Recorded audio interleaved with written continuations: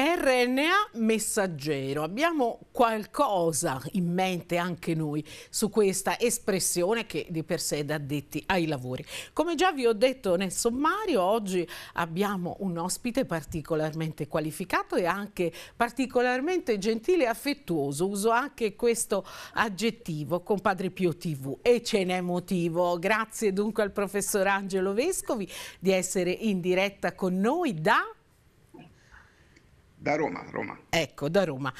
Questo Nobel per la medicina, a proposito, lei dice Nobel o Nobel? Uh, Nobel, io dico Nobel. Nobel. Penso che si possa, dipende dal paese, si può pronunciare. Eh, io mi attengo a lei perché mi sembra la guida migliore. In inglese, in inglese normalmente è di, Nobel Prize. Benissimo, Nobel Prize. Quello per la medicina è il primo che viene assegnato. Ieri abbiamo saputo, ne abbiamo accennato. Katalin eh, Caricò, una donna ungherese, tra poco vedrete anche l'immagine, una donna che sicuramente ha fatto felice la mamma, come ha raccontato appunto, che la spingeva a entrare tra i premiati fin da ragazzina, e poi lo statunitense Drew Weissman. Hanno hanno gettato le basi per i vaccini a mRNA messaggero. Ci vuole spiegare meglio lei anche la motivazione? Grazie.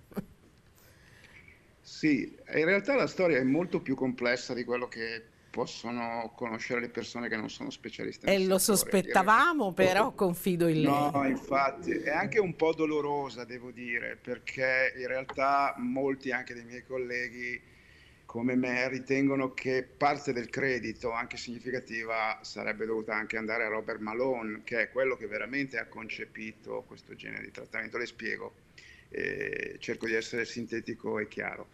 Il, eh, diciamo, il principio eh, secondo il quale questo tipo di, poi quella che è diventata una terapia per creare vaccini e adesso verrà applicata anche per i tumori e tante altre malattie, è stato sviluppato è di per sé abbastanza semplice. Le, le, le, nostre cellule producono i mattoncini che le conoscono leggendo il nostro codice genetico, il nostro DNA, lo sanno tutti, no? Il nostro DNA. Fino a qui ci siamo arrivati. Approfitto per, qua siamo tutti, no?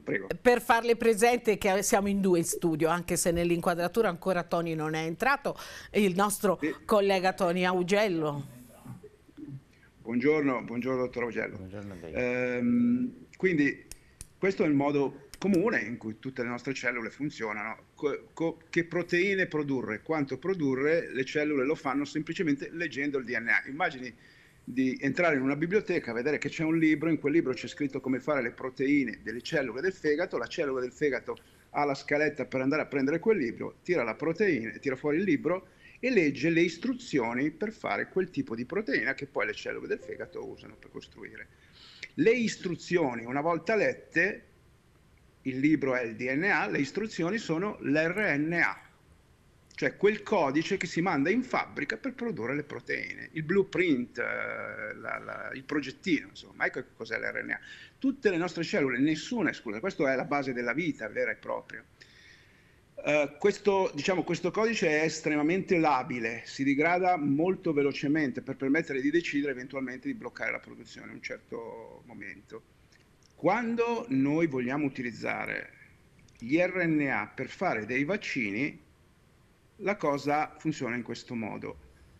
L'RNA, quindi il codice da leggere per produrre la proteina che le cellule si mettono a leggere e cominciano a preparare quello che devono fare, non viene dal DNA della cellula, ma viene mandato dall'esterno, cioè glielo diamo noi, lo iniettiamo con quel lago lì, ecco quello che fa l'ago inietta le istruzioni per produrre una proteina. E questo Questa da quanto tempo una... lo sappiamo fare? Ecco, questo è proprio il punto, grazie, sembra che ci siamo messi d'accordo, ma questo è solo credito alla sua professionalità e non sono un piaggiatore, nel senso che era proprio quello che dicevo prima.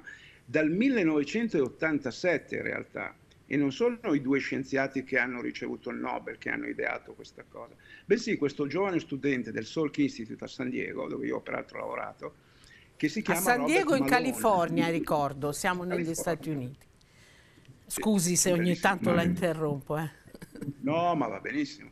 Eh, questo fu lo studente che mischiò dell'RNA con delle gocce lipidiche e dimostrò che facendo così era possibile attraverso la, la goccia lipidica portare dell'RNA che non era della cellula ma che veniva da fuori dentro la cellula. Il breakthrough, la scoperta principale che permette questo genere di approccio e che si basa su scoperte precedenti per l'amor di Dio, però diciamo è il cambiamento geniale, è questa del 1987 e quindi secondo me era importante anche includerlo in questo doppio che poteva diventare tranquillamente triplo premio Nobel. Il problema che si manifestò dall'87 a oggi e che poi si risolse definitivamente con questa pandemia, quindi il Covid tristemente ha portato poi dei progressi enormi ovviamente, come sempre sotto pressione si fanno progressi, è che l'RNA, come spiegavo prima, è molto labile e cercare di darlo con un'iniezione, non appena viene iniettato nell'organismo, il nostro sistema immunitario si accorge che non è cosa nostra,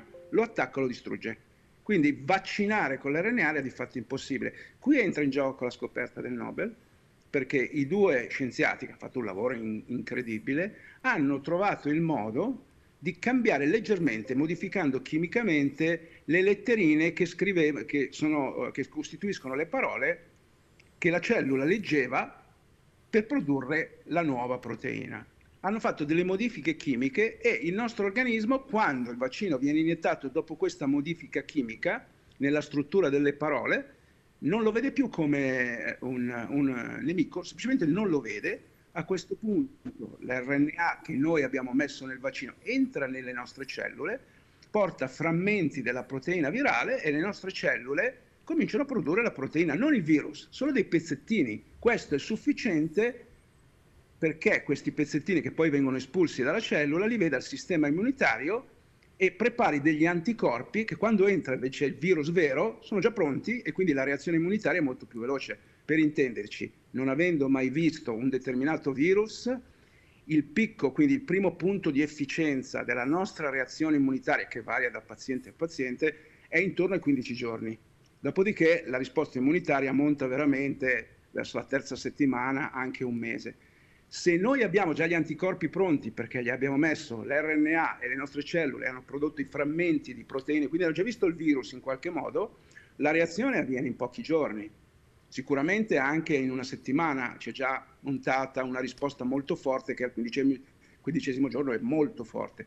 Questo ovviamente impedisce al virus di raggiungere livelli di concentrazione all'interno dell'organismo esagerati al punto tale da creare tutti i danni che fa. Chiudo dicendo una cosa molto semplice.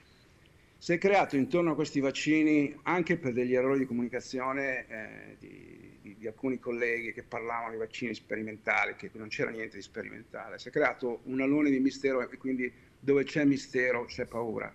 Il concetto da capire è molto semplice. Quando un virus entra, entra nelle tue cellule vivo, sequestra quel macchinario di lettura del codice genetico, lo fa suo e produce un numero immenso non di frammenti delle sue proteine, le sue proteine in coppie enormi, finché la cellula letteralmente collassa, esplode e vengono rilasciate nell'organismo copie del virus che continua a crescere in maniera esponenziale. Le proteine del virus sequestrano il sistema immunitario lo deprimano, attivano dei programmi cellulari che portano alla fibrosi, la famosa fibrosi polmonare, creano cicatrizzazioni perché procurano infiammazione cronica. Il vaccino porta dei frammenti del codice genetico del virus, peraltro resi più deboli, passatemi questo termine, e sono solo frammenti di proteine, producono un po' di proteine, ma quello è sufficiente a generare una, una risposta di emergenza protettiva.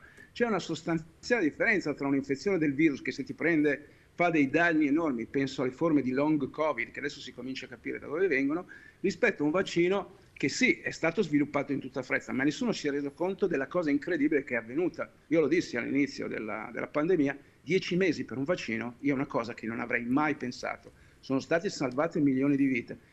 Hanno effetti collaterali? Non esistono farmaci, un vaccino è un farmaco, che non hanno effetti collaterali. Chiudo dicendovi che la frequenza e l'entità del rischio causate dai vaccini è almeno un ordine di grandezza, se non ricordo male, inferiore in termini di effetti collaterali alla banale pillola anticoncezionale. Grazie professore, è stato veramente straordinario, staremo qui ad ascoltarla per ore perché a volte non immaginiamo l'immenso lavoro che c'è dietro un vaccino, lei ci ha restituito uh, in maniera chiarissima ecco, quanto sia prezioso il lavoro degli scienziati, della comunità scientifica. Purtroppo i tempi stringono per cui noi dobbiamo salutarla, ma veramente colmi di gratitudine. L'aspettiamo. Ce n'è una enorme a San Giovanni Rotondo di comunità scientifica. Oh, Grazie. appunto, l'aspettiamo in studio, ovviamente per parlare anche specificamente di tanti vostri traguardi, non solo quelli già eh, eh, raggiunti ma anche quelli che vorrete raggiungere. L'aspettiamo, ogni tanto ci incrociamo Viale dei Cappuccini, la bloccherò la prossima volta. Spero di poter portare notizie fresche a breve sulla sperimentazione della sclerosi multipla di fase 1, stiamo aspettando la conferma della rivista. Settimana scorsa però sono usciti i risultati sui tumori cerebrali che sono eccezionali, forse li avete visti. Molto bene. E nel frattempo quindi niente paura per il prossimo vaccino.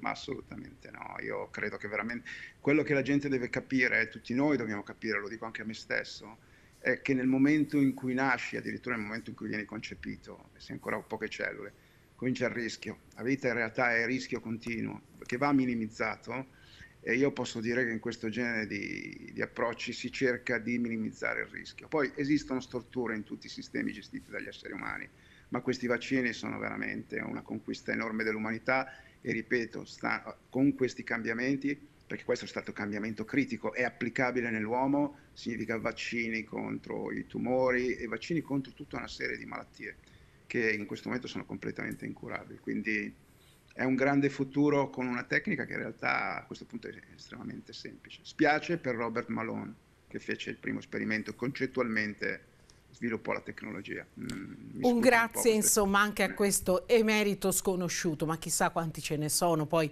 anche in altri ambiti ci sono persone che fanno... scrivono i vincitori. Ecco. anche nella scienza. Bene prof, allora l'aspettiamo nei nostri studi, intanto davvero grazie, buon proseguimento di giornata e buon lavoro.